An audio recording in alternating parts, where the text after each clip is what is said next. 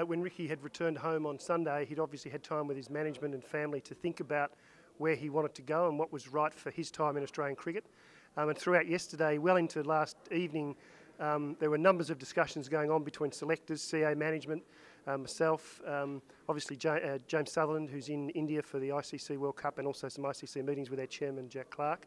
So there was lots of discussions going on about what was right. Ricky made his decision late yesterday, and to that end, we then were obviously required to bring today together, which is a huge logistical exercise, um, given that we're in a we're in a different state. Uh, he's um, you know, some distance away. So um, today we, we gathered early and we just went through the, the processes and um, today Ricky made his announcement that he's stepping down as captain um, from Test cricket and stepping down as captain from one day cricket. He still intends to play on, which is a fantastic uh, thing for Australian cricket. Obviously, his innings in the one day uh, quarter final recently uh, belies his skill as, um, as a player.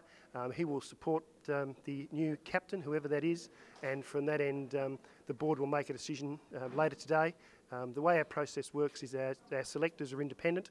Um, they will provide nominations for all positions, uh, test 20 over and 50 over in the captain and vice captain roles, and then our board will consider those, and if they're endorsed, we tomorrow will come back here and um, and announce the, uh, um, those positions as they will be. So it's a, it's a very sad time for many of us in Australian cricket. Ricky has been an outstanding leader and arguably has overseen the greatest uh, era of the modern times. Uh, people forget the things he's achieved and uh, three World Cups, um, won the Ashes, um, ICC trophies, uh, won in India for the first time. So he's had an incredible, um, incredible time. And you know, I think the thing that um, really made the point to him was he thinks this is the right time. We've got a lot of cricket ahead. We've got a Champions Trophy coming up. Um, we've got a 2020 World Cup. We've got a tour of South Africa and India at, at home this summer. So for him, this is the time to pass on the baton um, but also be there to support others. No, there's absolutely no push. So I can assure you, you don't need to push a person like Ricky. Uh, Ricky is a strong leader. He knows when his time is right. Um, it caught us all by a bit of a surprise yesterday because obviously I talked to him in India last week and he was very keen to go on. But since losing the quarter final, um, he'd obviously thought this is the right time, and it's a huge decision. It's a huge decision for someone who's given so much for Australian cricket, and um, as someone who's worked closely with him, um, I can only assure everybody that Ricky is interested in doing what's best for Australian cricket. Ricky Ponting's never played for himself, he's always played for his team and his country.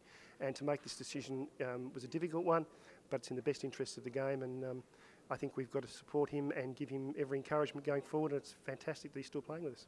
It's unusual in cricket that someone resigns and then continues to play, but Ricky's in a unique situation. You know, look, he's probably one of our best fielders still.